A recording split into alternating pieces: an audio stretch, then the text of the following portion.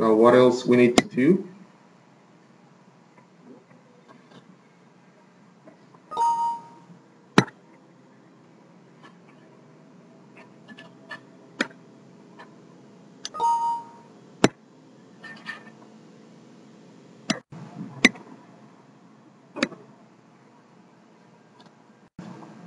Okay, so concept exploration. So we went through the need analysis uh, topic already, and now we are moving into the concept exploration. We have a good understanding of uh, what the problem is, uh, what are the requirements that we are trying to fulfill, and how those requirements can translate into functions. So now we're going into the concept exploration phase. Um, and the idea is now uh, give a better understanding of how can we build something uh, to, to solve our problem. So we will uh, we'll go through these three topics today, the developing the system requirements, uh, the operation requirement analysis, and the performance requirements formulation.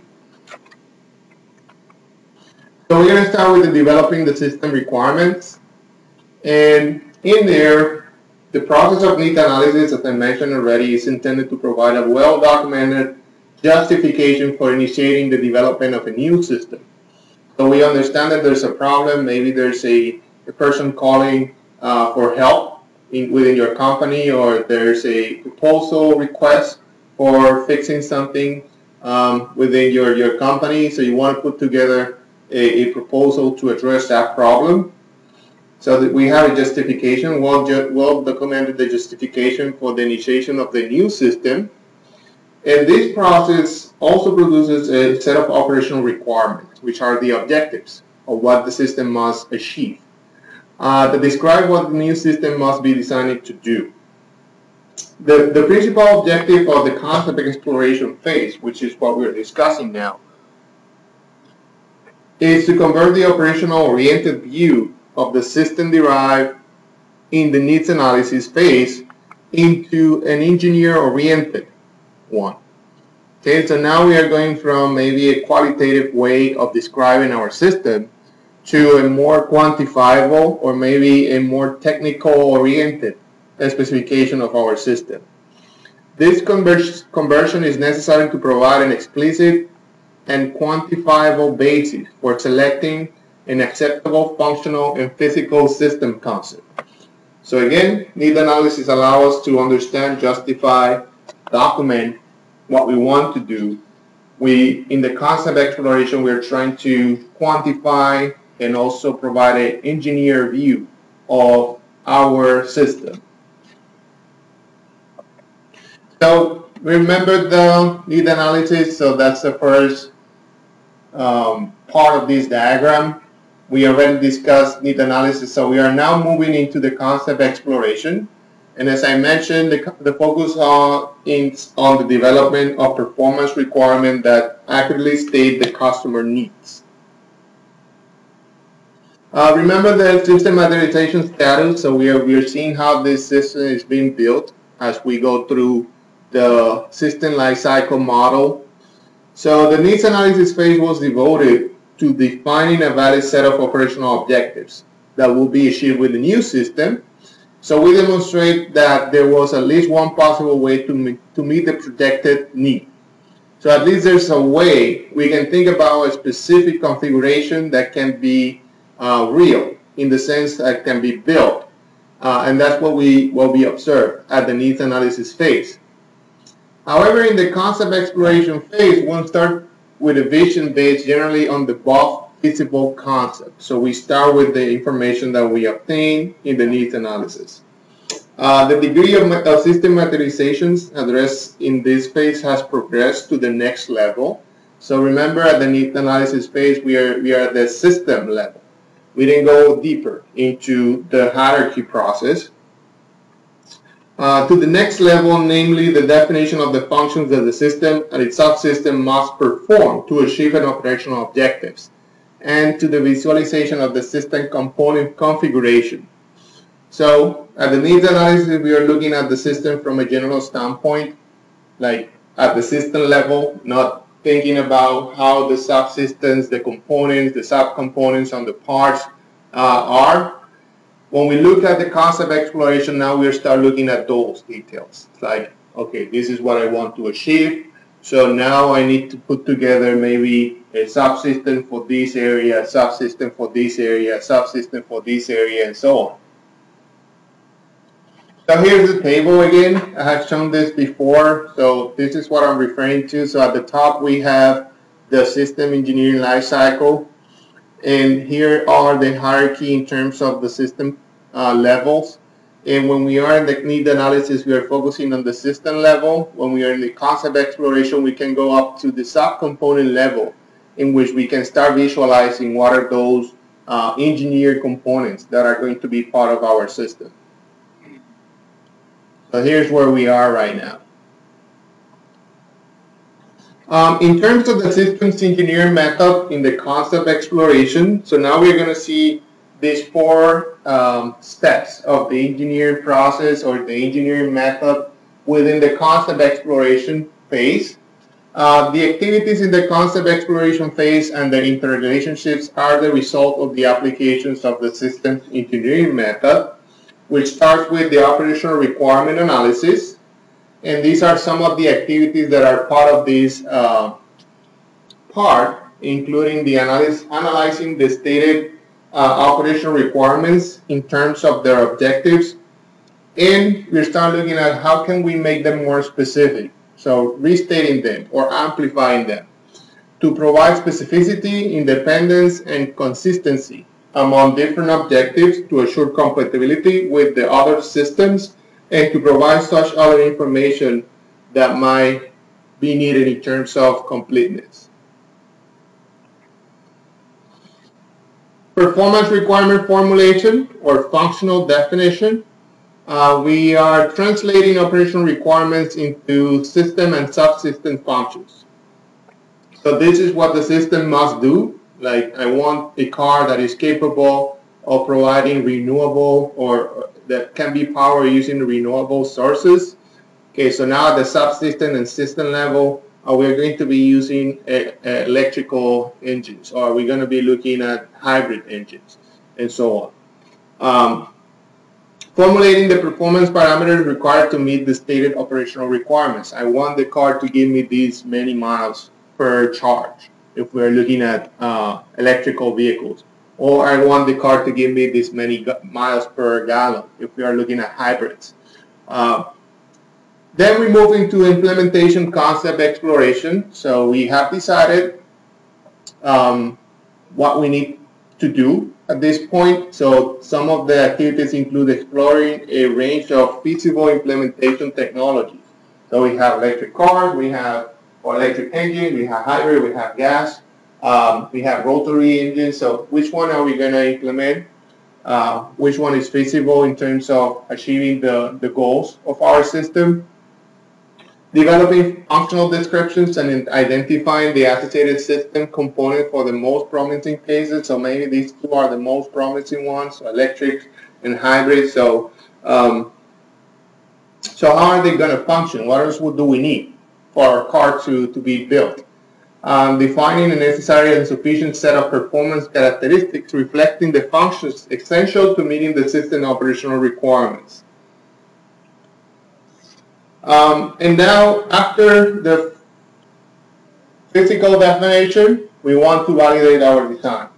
So design validation conducting effectiveness analysis to define a set of performance requirements that accommodate the full range of desirable concepts um, and validating the conformity of these requirements with the stated operational objectives and refining the requirements if needs necessary.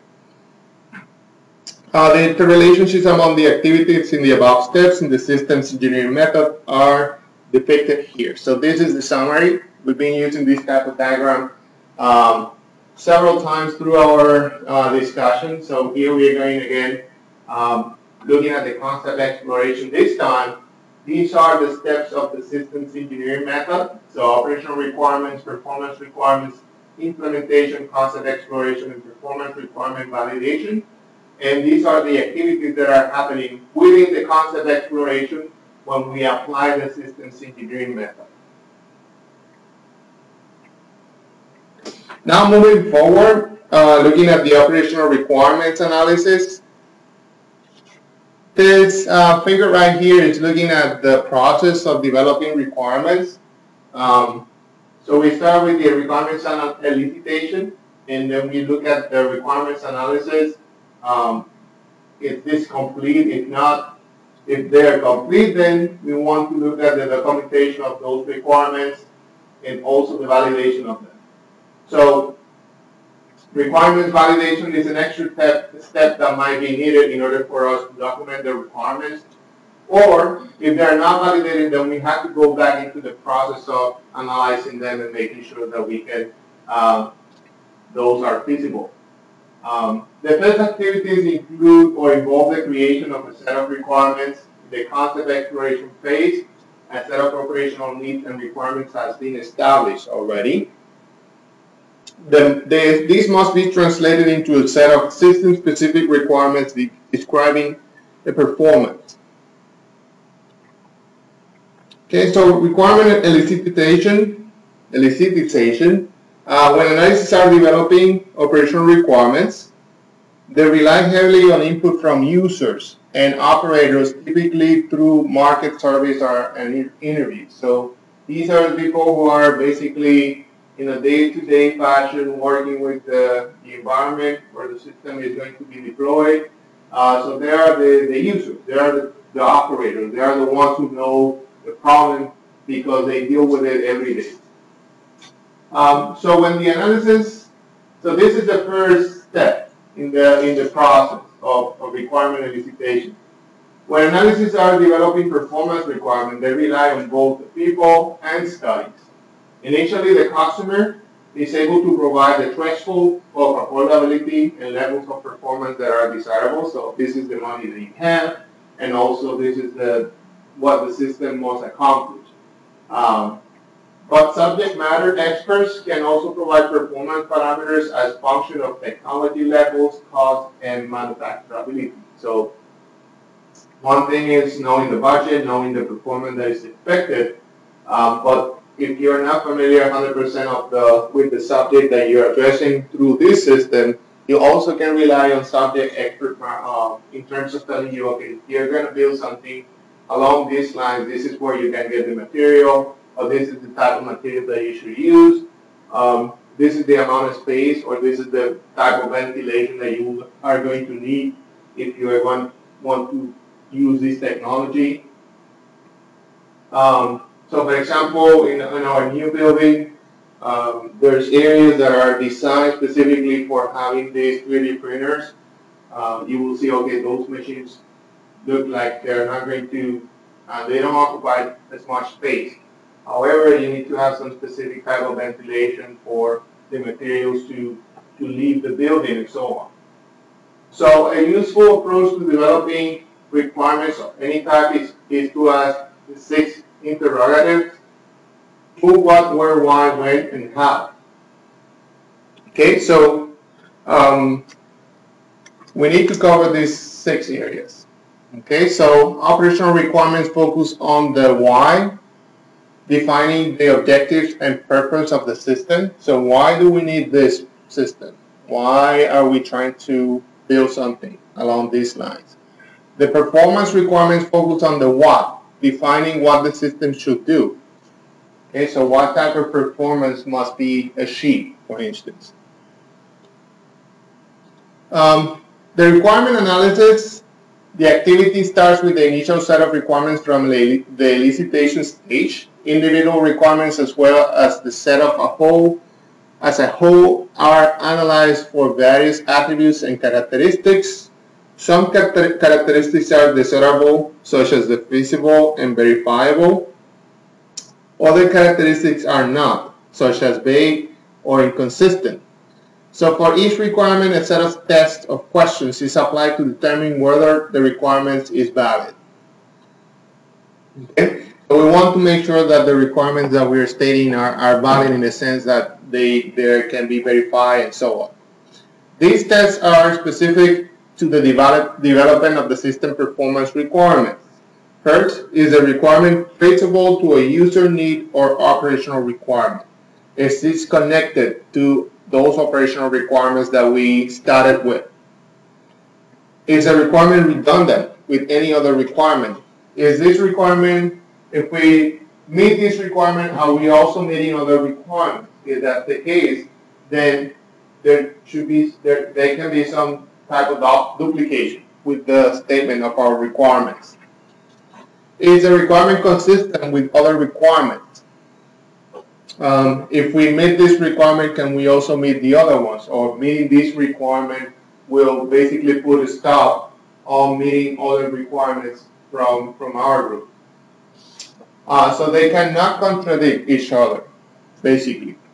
So we need to state them in a way, or if they're contradicting, there, there has to be uh, a way of fixing that because we're going to end up, if not, if we don't fix those, we're going to end up with an, an infeasible solution or system. Any questions so far? questions? Four, is the requirement unambiguous and not subject to interpretation? So if you read this or anybody read the, this requirement, are we all understanding the same thing? If you understand something or another person understands something else, then that requirement must be written differently. We don't want the requirement to be subject to interpretation. Is the requirement technologically feasible? Or can we somehow, with the technology that we have available, meet this requirement? Is the requirement affordable? So are you asking me to go to uh, Mars? Do we have enough money to make that happen? Or do we have the technology? Or do we have the uh, facilities that will allow us to, to achieve that goal? Is the requirement verifiable? Meaning that you have a way, maybe through uh, experimentation or by looking at previews or historical data, can you verify that requirement? somehow. If the answer to any of these questions above is no, then the requirement needs to be revised or possibly omitted.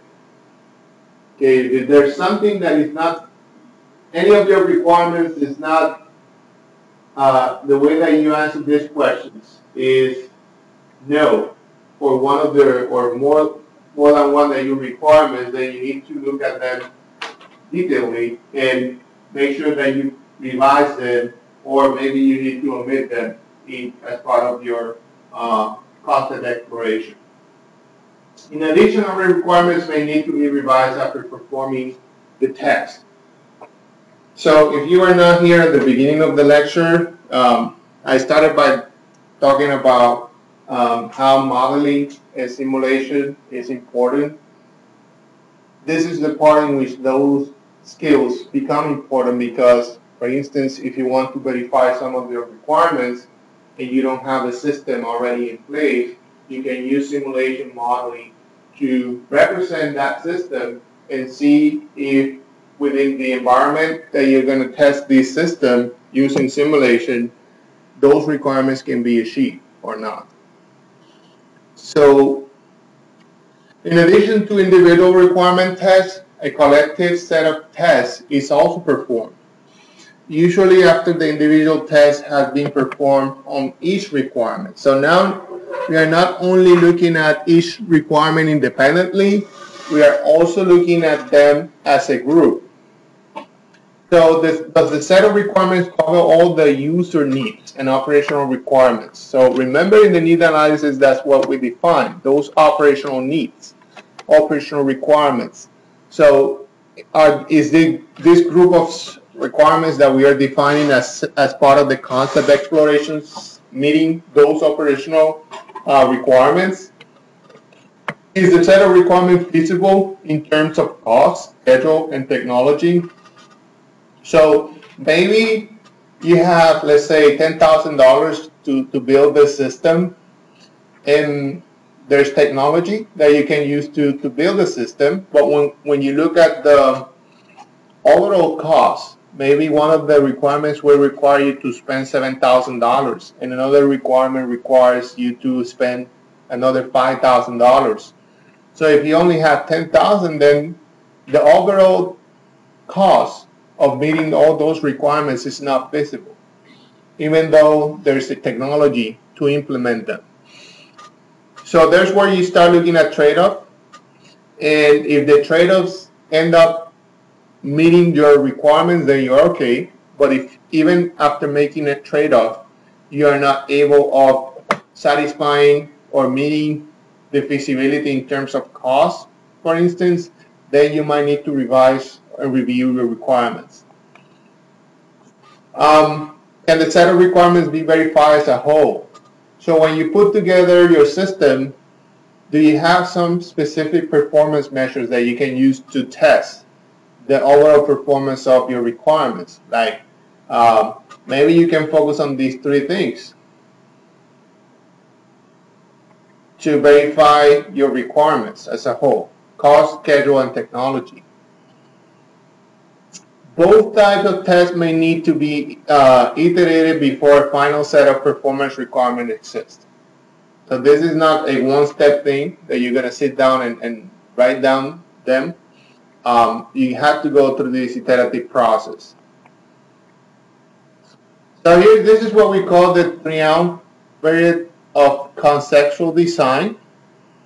Uh, above we mentioned that the use of six primitive interrogatives or questions in developing requirements. We also discussed that operational requirements focus on why and functional requirements focus on the what. Whereas the analysis goes to understand the other four primitive um, interrogatives, the answer lies with what we call this uh, conceptual design. So we have this triangle, which which basically describe our system concept, and we have these three areas. Um, the operational requirements uh, focus on the why. Why do we need this? And when we start looking at the functional performance requirements, we can specify what and how much. How much are they going to cost? How much they need to perform specifically. When we look at the operational concept or concept of operations, we want to know how this is going to work and who is going to be doing what. And when we look at the operational context um, scenarios, where and when. Where are these going to be performing and when? What time or during which season and so on. So there are these six um, interrogatives that we discussed can be very helpful in terms of defining your, your concept. New products are needed to describe the six interrogatives. So a new product, the operational concept sometimes referred to as the concept of operations, addresses who and how. And a description of the operational context, sometimes referred as scenarios, addresses where and when. So this is where and when, right here. Operational concepts are useful since requirements should avoid prescribing how they should be fulfilled. So the term CONOPS is quite general. The components of the CONOPS usually include these four things. The mission description, which is uh, success criteria, relationship with other systems or entities, information sources and destinations, and other relationships or constraints. The CONOPS should be considered as an addition to the operational requirements. It identifies the general approach, though do not specify or specific implementation is described. The CONOPS clarifies the intended goal of the system. Okay, so operational concepts, CONOPS. So who remember when I, I have mentioned this word a couple of times in, in class? Um, so if I say scenario, what, what will be the, the first thing that you think about? And this is a question. So, um, so what is the scenario? If I tell you, okay, tell me a scenario for uh, a system that, we can always go back to the same example. So what will be the scenario for a car performance?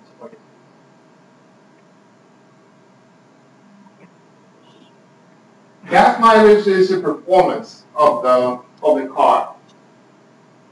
Think about like when, when we go to a plate, what is the scenario?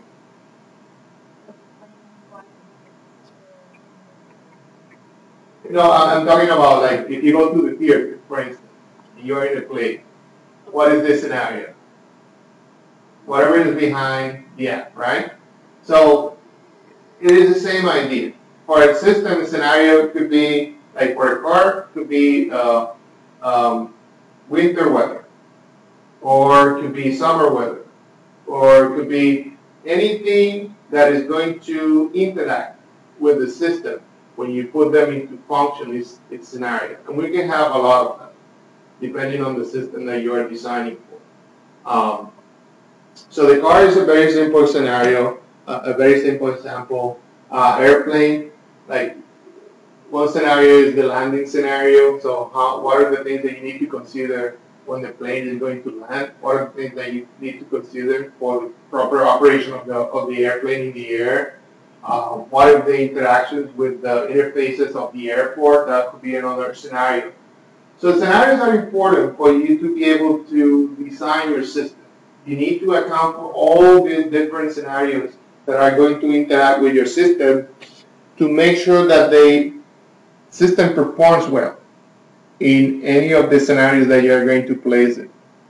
I mentioned this before. I worked for GM during the summer, and I talk about the F-150 having they having all these test areas in which they have different scenarios for the truck to perform.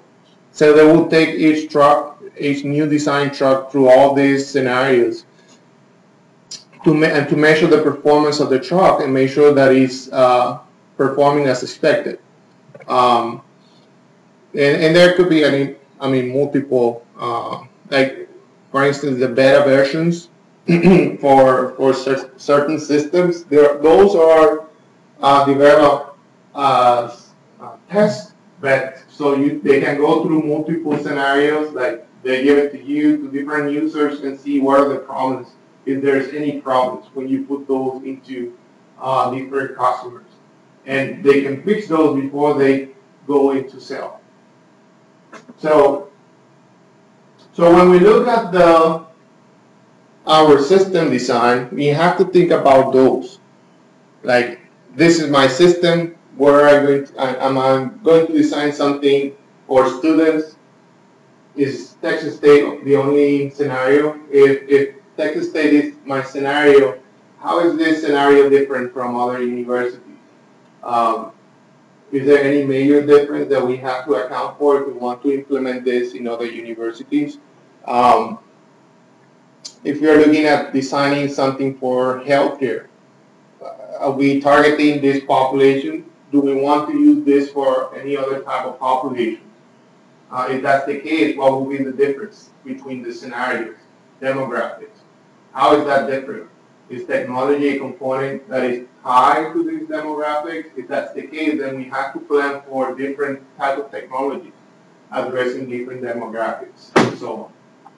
So the description of an operational context is the last, last piece of this um, triumvirate in defining the system concept. An operational context description describes the environment within which the system is expected to operate. A specific instantiation of this concept is known as a scenario. Uh, another area that is becoming relevant, like these past days, the fire spreads. Like my wife was telling me, so there have been fires, fires for the last I don't know, 20, 25 years, more than that probably.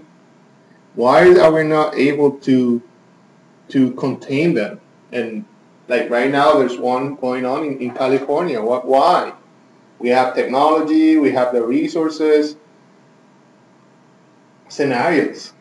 There are there are too many scenarios. There are too many things that can happen in a fire. It's very difficult for you to be able to uh, predict how the fire is going to behave because there's multiple things that can uh, change the behavior of the fire. The weather conditions, how the air is flowing, where the fire started, what is what is the terrain conditions, and so on.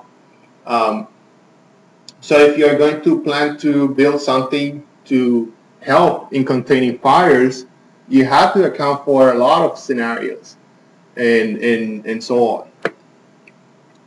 So um, most of the scenarios include at least five elements, and I'm showing here this is a volcano. That's another thing. How do you know how the volcano, when it's going to erupt, um, how is it going to spread, and so on. Um, very difficult. So if you want to build a system to help people evacuate for something like this, it's, is very challenging. So what is the mission of the scenarios? Uh, what are the friendly parties? The description of friendly parties and system and relationship among those parties and systems. So who else can be helping you in this process as part of your system? Track threat actions and plan, a description of action objectives and threat forces. These threats need to not need to be human. They could be natural, for example, volcano eruption. Environment, a description of the physical environment germane to the mission of the system and the sequence of events. And this is very interesting when we think about simulation modeling. When you do simulation, this is what you're doing. You're trying to come up with a sequence of events that you're going to put together so your system is going to be interacting with this sequence of events and then you're going to see what is the performance of your system when it's put in these conditions. So a description of individual events along the timeline. This event description should not specify detailed system implementation.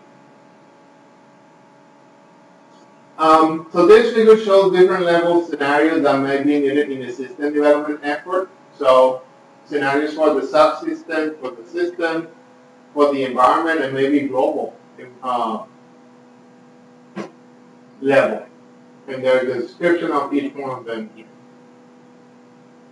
Um, analysis of alternatives involve the definition of a range of alternative system approach to the uh, general operational mission and a comparative evaluation of their operational effectiveness.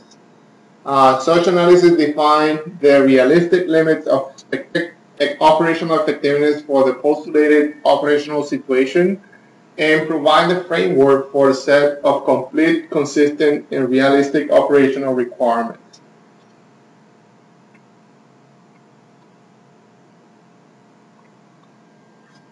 Um, guidelines for defining alternative concepts. So now we're going into, okay, this is the formal, this is how I see my system.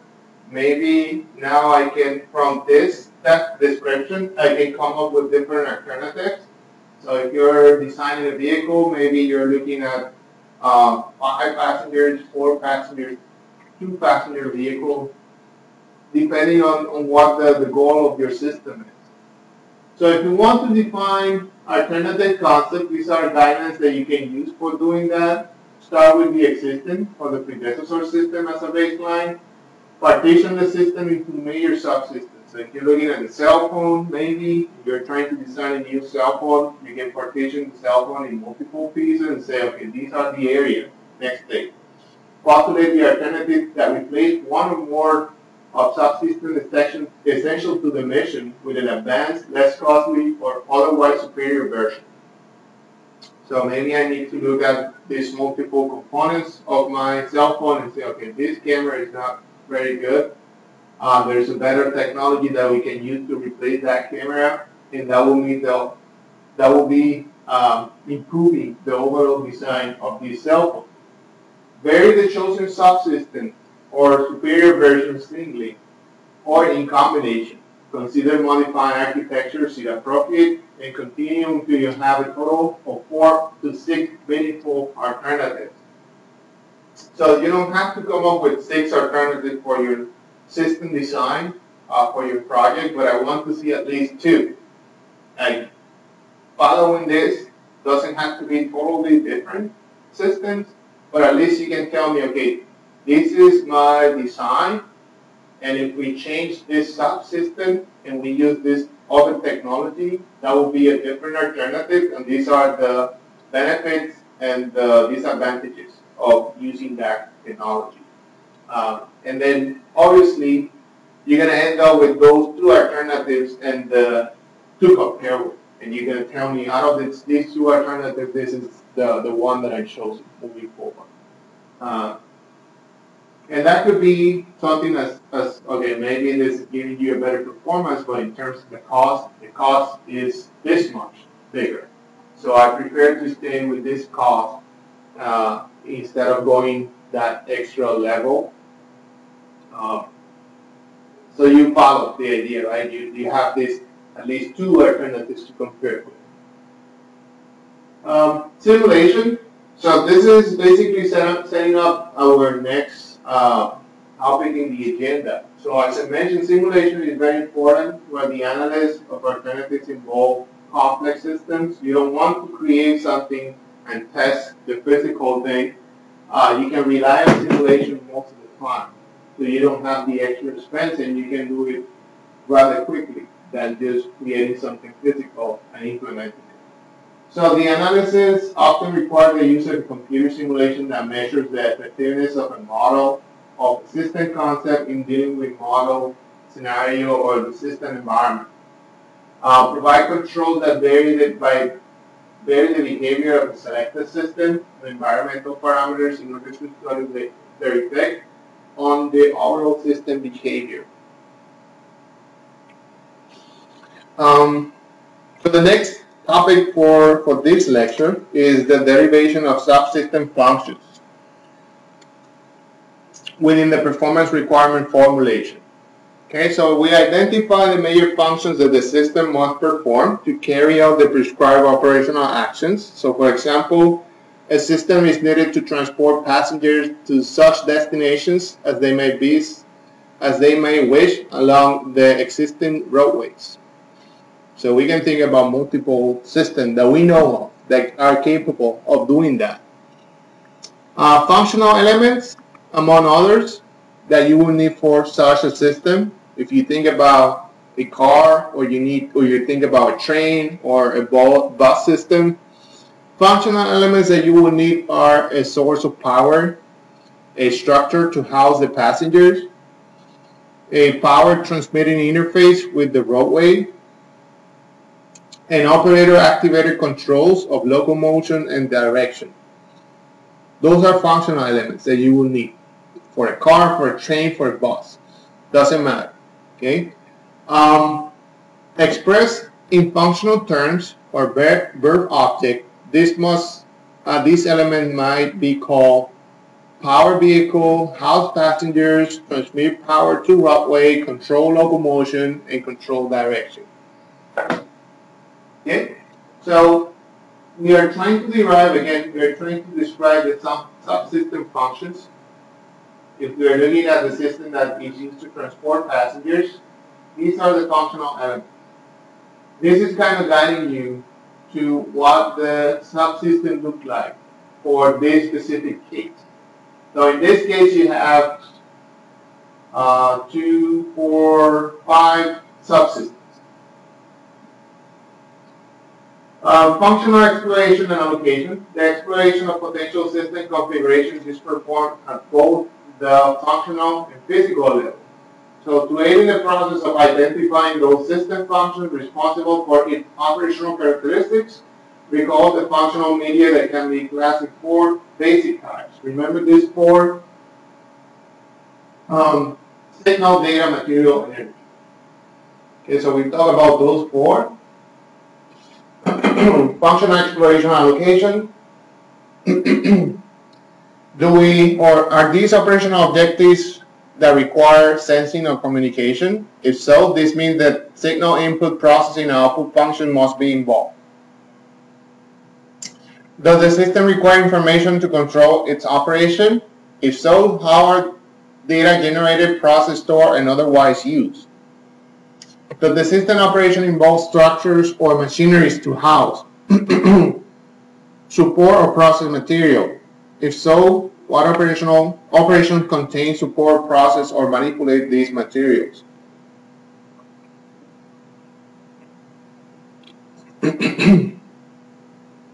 the system requires energy to activate, move power, or otherwise provide necessary motion or heat?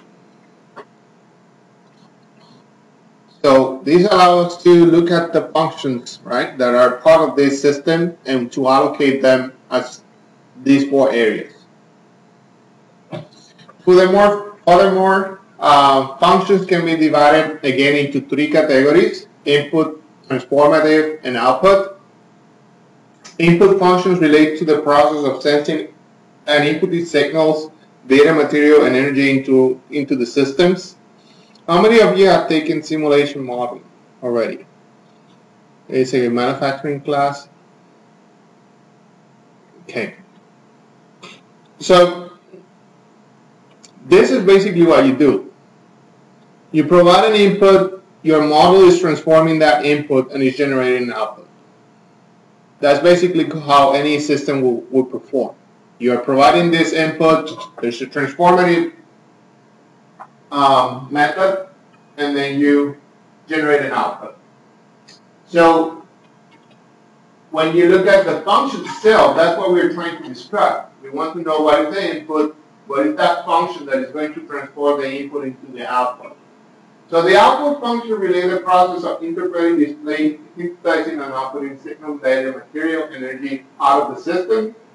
And the transformative functions relate to the process of transforming the input to the output of the four type of functional media.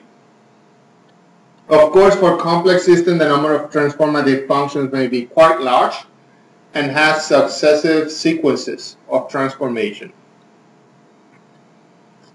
So this is um, trying to represent what we just discussed.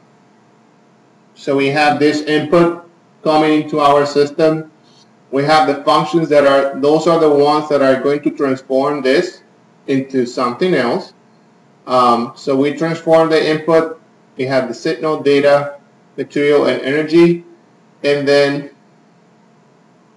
I'm sorry, this is the transformative. So is each one of them can go to any of these direction or the combination of the two can be transformed in any of the other four. Um, so for instance, we, if we transform the material, we want to know what is the temperature, for instance. So that could be a transformation of the material into a signal or into data. uh, and then we have the output function that are going to use this, all this, to tell us what's, what's the performance of our system. In constructing an initial function list, it helps to identify inputs and outputs. This list directly leads to the engineer to a list of input and output functions the transformative function may be easier to identify when examining them in the light of a system input and output. So if we look at this is my input, this is my output, then we can start defining what's going on in here. Um, this is a very easy example, right? I don't know how many of you are coffee coffee drinkers, but uh, I know that's uh, becoming more popular. So acknowledging that this is not a complex system, consider a common coffee maker without any frills. By observation and analysis can identify the necessary inputs. For example, signals, user commands, which uh, we will simply identify as on-off. So we're going to turn on off the, the coffee maker. Data, might be no data. We're looking at these old coffee makers. Um, maybe the, the newest ones will have some type of data. Maybe they have some uh, memory that you can store what type of coffee you like. Uh, materials, fresh, fresh coffee grinds, uh, filtering water, energy, electricity, and forces, mechanical support. Um, in terms of the output signal status, we simply will say that on and off. Materials will be brew coffee, use filter, use coffee grinds. Energy, probably the heat generated, and forces at this point, no. Okay, so knowing the input and the outputs, then we can know what's going on within the, or we can try to um, describe the transformative functions of this uh, particular system. So identifying input and outputs assist the analyst in identifying functions. So input functions we directly proceed from the input list. Output functions come from the output list. And the transformative functions will be more difficult to identify since it involves some inductive reasoning. However, we now have a guide to this uh, inductive process. We know that we must transform the six input into the five outputs. In this particular case, this line of inquiry normally reveals an operational significant functions and permit them to be grouped in relation to specific operational objectives. Further, this grouping naturally tends to bring together the elements of different subsystems, which are the first level building block of the system itself. So in the coffee maker example, we can focus on transforming, transforming the input materials and signal into output materials and signals. In other words, we can identify functions by answering the question, how do we transform fresh coffee grinds and filter and an on and off command into real coffee? A use filter, use coffee grinds, and, and status. Keeping the list functions minimal and high level and using verb objective syntax. An example list pertaining to the coffee maker could be the following. Um, we have these input functions, accept user command, receive coffee materials, distribute electricity, and distribute weight.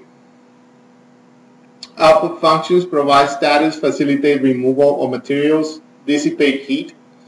And then the transformative function that will connect these two, heat water, mix hot water with coffee grinds, filter out coffee grinds, and warm brew coffee. Okay, so for something as simple as a coffee maker, we can go through this exercise and we can connect all these areas. Um, you see how we went through describing this and then basically summarize that into very simple actions. This will allow you to make this two connection between these two easily. And that's the, the end of this lecture.